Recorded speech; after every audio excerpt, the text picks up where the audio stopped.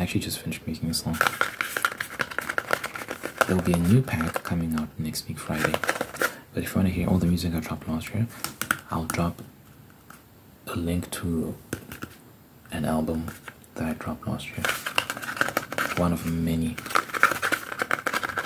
I'll drop a link in the description, in the description, in the description. But appreciate if you check it out and let me know what you think. I appreciate if you check it out. I also dropped a short. I dropped a short. Uh, uh, with uh, a short of a of a clip of a song that's coming out next week. So go to my shorts tab. Go to my shorts tab to, to check it out, the latest one, the latest short, and you'll get a glimpse of what's coming next week.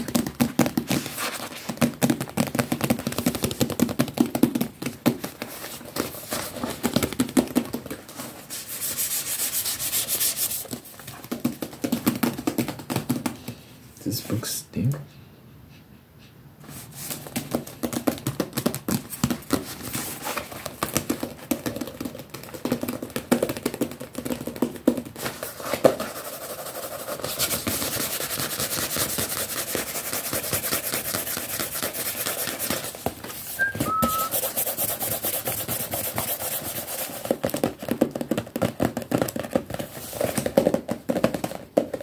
Yeah, then I'm just gonna use my shorts tab to, to promote my music. Honestly, I'm just gonna post clips on there every day, just promoting whatever music is coming out. I don't really upload ASMR shorts that often anyway, so then I just repurposed my shorts tab for that, promote music. Yeah, then I don't have to perform music every Friday. I think I'll stop performing music because I used to perform when I was doing the Song a Day challenge. I'd perform music every Friday. Instead, I'll just use the shorts tab for you to get all these clips of my music. That I don't have to perform music every Friday.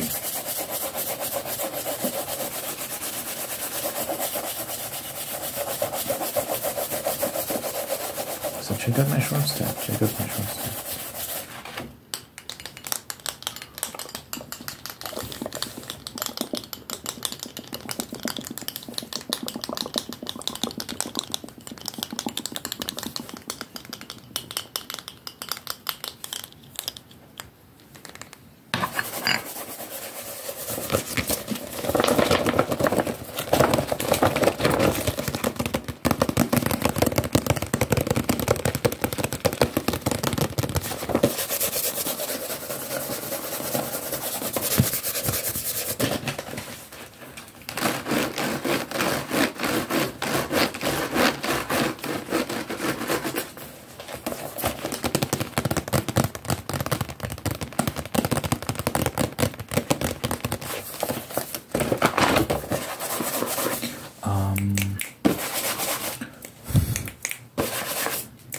I was speaking to some people. It's actually interesting. So, I watched the video where this guy and his wife were debating, like, whether when you when you're dating, and in, in the dating phase, know, when you're seeing people, just like like the initial initial stages, should you be allowed to see multiple people people at once? Like you know, so maybe you meet someone for the first time at like a friend's house, for example. Like those that get together, you meet someone there for the first time, and then he's like, "Yo, let's go." Like if you're a girl, he's like, "Let's go grab coffee sometime."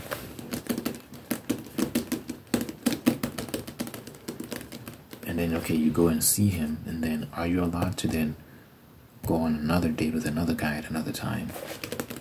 Maybe later during the week or whatever. I don't know. Should you just see things through with that guy and see if it's going anywhere before you start look, look uh, hanging out with other dudes? And vice versa, same thing applies with men as well. My stance is, and the stance of the guy in the video is, you should only see one person at a time. Girl or guys, you should only see one person at a time. People I think it's normal in a lot of cultures these days. These days, to kind of date around and grab coffee with this person, grab coffee with that person, hang out with this person, da, da, da. I don't like it.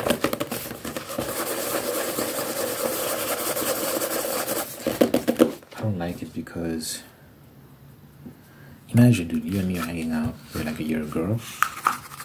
You're a lady. I'm interested in you. We're having a conversation. We're having fun. We're being intimate. Like there's a vibe. There's a there's a spark. And it's like this is good. This feels good. Let's do another date, and you agree. And then later that week, you go and see another guy. What? I actually remember picking up this girl. We were hanging out. It, was supposed, it wasn't. I don't know if that specific day was a date or just going to like another get together together. I can't remember what was happening that day, but we had gone on a date before, so there was that thing of like, we're, we're, seeing where this is gonna go. So I was picking her up, and I picked her up from this restaurant where she was seeing another guy. Obviously, this is like initial stages. We're not a, couple or anything like that, but still, it, it, rubbed me the wrong way. And in my mind, I was like, yeah, no, no, no, this won't work. In my mind, that immediately disqualified me because I'm just like, there was something about nah, like she hugged the guy, and then me and the guy, I was in my car. He saw me through the window. We made eye contact, and there was that thing like there was this like like we we I don't know on my end I didn't fuck with him maybe in his mind you're thinking the same thing like who the fuck is this guy yeah that's what it was it's like who the fuck that's how we were looking at each other like what the well who, who are you that's when I knew like, this girl is not gonna work. How can you get me to pick you up from a restaurant when you're seeing another dude? That's when I knew like this thing of when I'm seeing a girl, it doesn't matter if it's the first date, it doesn't matter how early it is. You see, you're seeing me. You can't do this thing of like you're seeing multiple guys at once. I'm seeing multiple girls at once. No, no, no, no. Let's focus and commit to this and see where this goes because then we don't have to play the game of comparison and because yeah that's what you're doing really. You're comparing people to each other instead of assessing someone on their own merits. And saying how do i feel about this person really? instead of like how does so and so stack up to such and such? I'm, i do not want to be compared to some other guy. You. So i'm not a fan of that I'm not some fish in the market and you compare me to some other fish in the next row. I don't like the concept of that and I don't want to treat you like that either if you're a lady. So let's not do that. You know, back in the day, there's a concept of this concept of courtship. How that would work is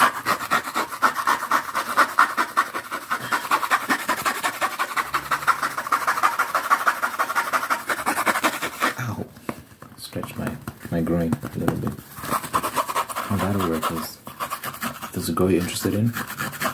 You go to her father and you ask her father for permission to court her, and what that and what courting means is you begin the process to to see if you are a suitable marriage partner for her. You're courting her, and then she decides whether she likes you or not. If she decides she likes you, you get married. it's that simple.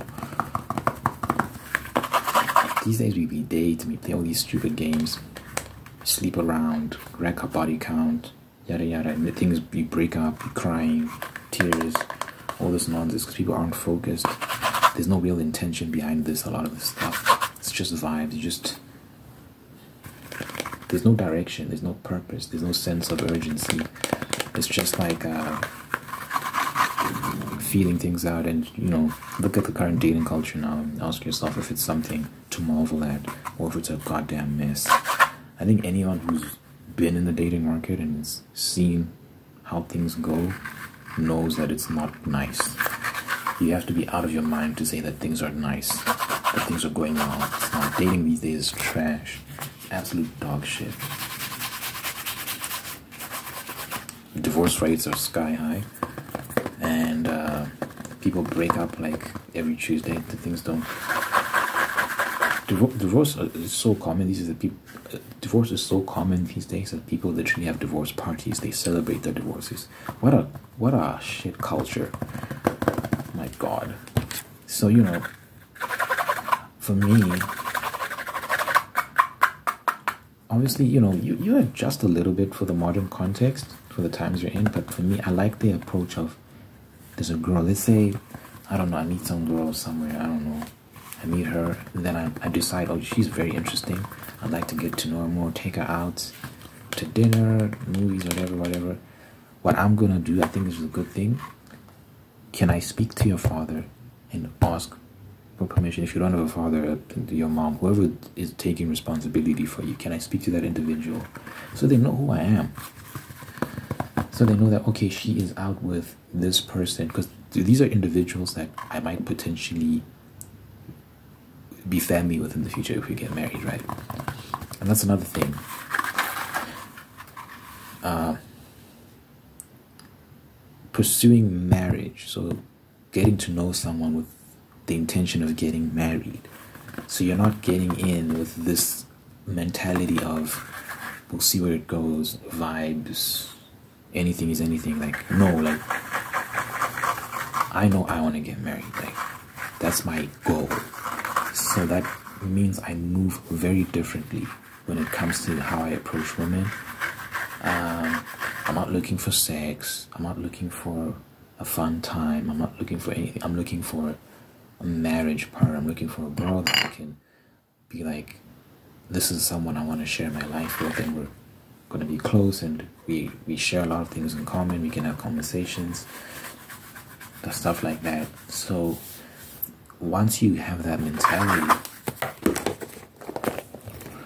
it changes your entire approach and, th- and things move a lot quicker too because you isolate the qualities you, you want.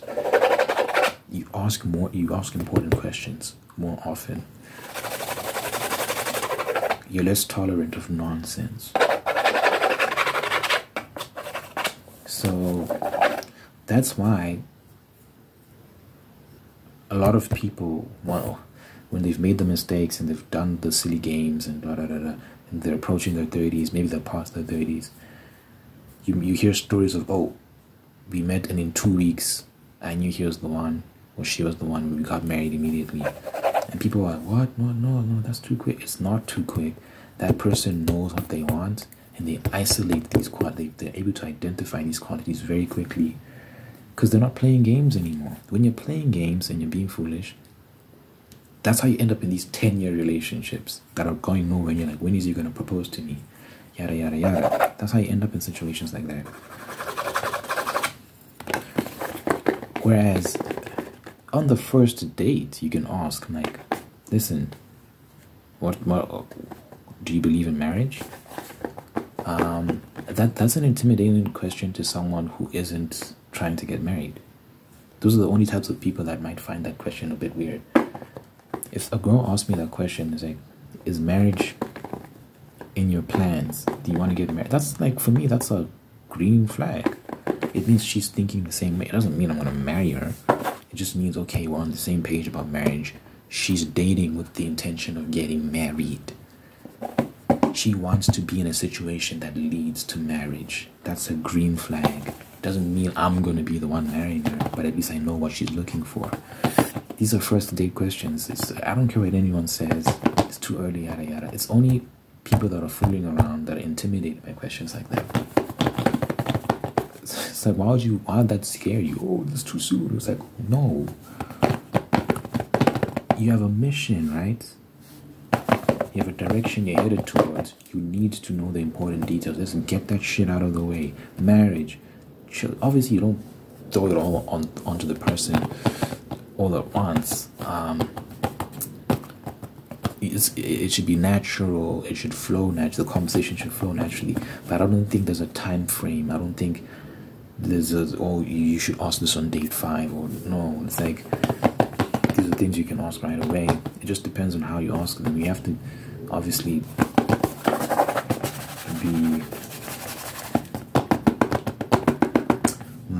of how you're asking these and how you're coming off. You have to be aware of that. Shouldn't uh, be too intense, but these things flow. I've been, I've had these conversations with girls before, and it was very natural, and it never felt weird or anything like that. It's just about how you ask it. It's, it just has to be natural when you when you're having. It's not rocket science, people. Having a good conversation, these things will just naturally come up. You'll be talking, talking, talking. The, the, the topic of sex will come up. What do you like? What do you don't? Well, yeah, it, it comes up. I've had these conversations. um, girls are different than guys, obviously. As a guy, I don't mind questions like that, but obviously, when it comes to the topic of sex specifically, you, you do want to be sensitive. You don't want to jump the gun because then you'll seem like, as a man, you you will seem like maybe you're you're being too pushy in that realm. So I would be sensitive there. Get her to warm up to you a little bit, and then maybe you take that approach later on. But it, again, there's no time frame for these things. It's if each person's different. Some girls are open as man. I'll tell you what. I know a girl that I was close with, and she approached me like, "Do you want to have sex?" She was the first one to ask that question, and it was very quick. And she wanted like some casual thing, so eventually, I was like, "Nah, this is not gonna work," because she like she was looking for more like casual sex. Um, and my mind has evolved since then like uh, now i'm on the tip of like no sex before marriage which is aligns with my faith in god and what he wants for me as well as just practically uh, there's several reasons not to have sex before marriage but yeah she wanted a casual sex so i was like no um, but yeah like, that's an example of a girl who is very open. And for her maybe it's not a big deal when you talk about these things. It, maybe she's also a bit older than me. She's like five years older than me. So maybe it's an age thing. She's just not just doesn't care so much um, but when it comes to specifically marriage children stuff like that i think in my experience a lot of girls are open to conversations like that it just depends on how you approach the conversation of course And it, when it comes up naturally, it doesn't seem like you're pushing some sort of agenda or anything, and just you're genuinely interested in these things, and you're showing that you know you have a vision, you have a purpose, that you're actually trying to in your in your mind, in your future, you have commitment in mind. Um, I think girls appreciate that. So for me, yeah, honestly, in the first date, you can cover so many different topics, man, that people might say you need to save that for several months down the line. You can talk about almost everything. It doesn't matter. Um, it's about the individual and also your your, your level of maturity and um,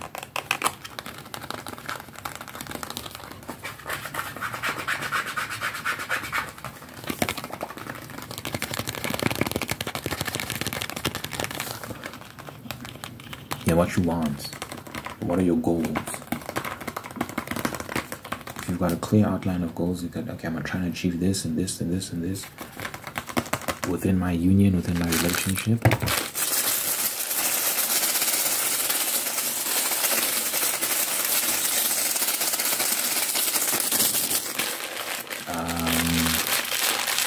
Go by very quickly. That's how you hear like in two months they got married. These stories like that in two months they were married. Because they went out, they spoke, they had multiple conversations, and also it's like guys. Um I'm not saying everyone get married in two months.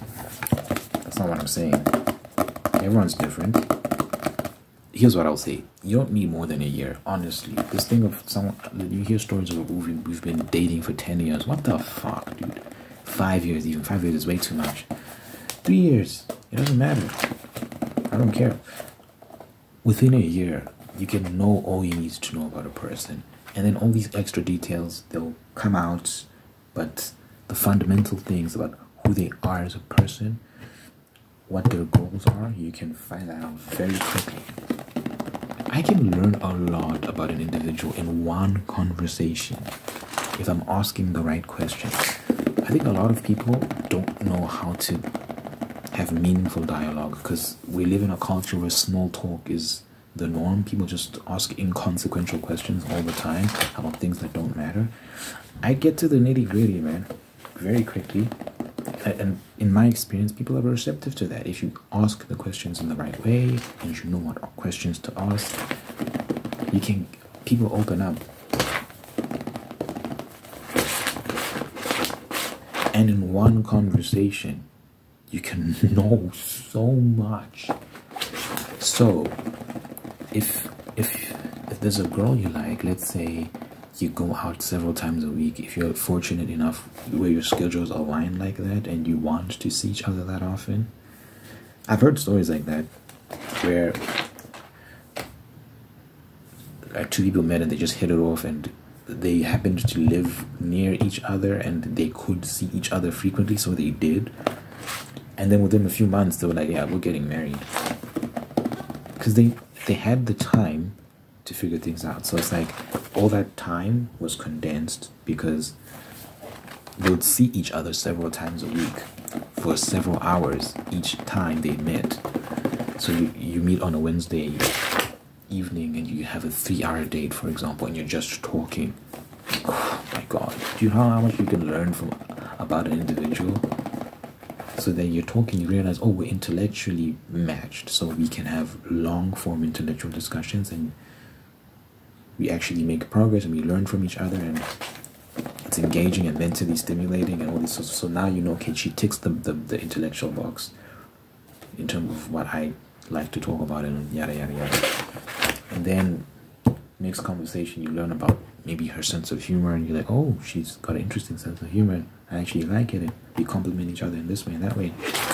Maybe i'm not that humorous so i'd like to be with someone who's humorous to counterbalance me or whatever the case may be learning these things. Like, I'm telling you, man, modern dating is trash because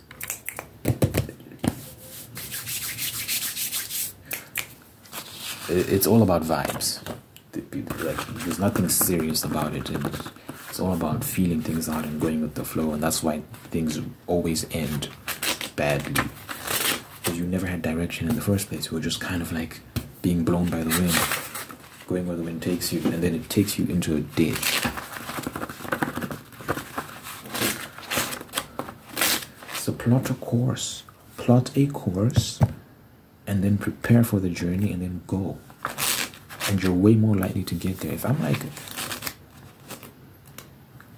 if if I decide, okay, I want to go on a journey, and then I I, I, I, I don't pack my bags or whatever. I just go, and I'll, I'll, I'll end up where I end up. You're not gonna get anywhere.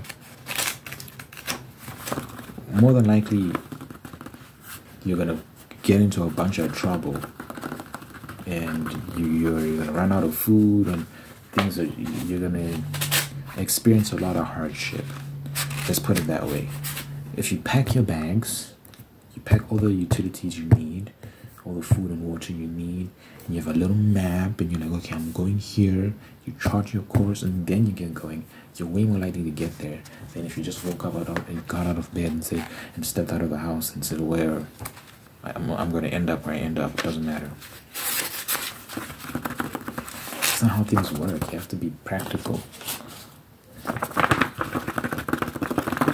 So that's my encouragement to people have be focused have a plan and when you have a plan things go a lot more smoothly and a lot more quickly You'd be amazed the amount of progress you can make in a short space of time when you have a plan. You won't find yourself in these 10 year relationships that aren't going anywhere.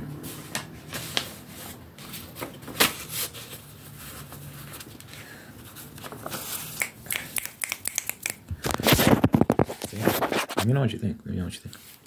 Um, you know, I like to pray at the end of my video. So, dear God, thank you for this individual watching this right now. Thank you for making them whole and unique and guiding them on a path towards peace, prosperity, and purpose, purpose, purpose. Thank you for blessing this individual with wonderful people who love them and take care of them and bring the best out of them. And thank you for maintaining the people that are already there to do the same thing. Thank you for blessing this person's love life so that, you know, they meet someone or they, they, they love or, or you bless the relationship they currently have. Um, bless this person with a spirit of gratitude so that they can give thanks for all that they have, be aware of all that they have, all the good things, and through giving thanks can find peace and contentment and attract even more blessings. And I pray that your presence is felt in this individual's life, that they know that you're God, that you're real, that you love them, and that you're taking care of them. And uh, yeah, good health, long life, happiness of this individual and everyone they care about. Right now, I pray. In Jesus' name I pray. Amen.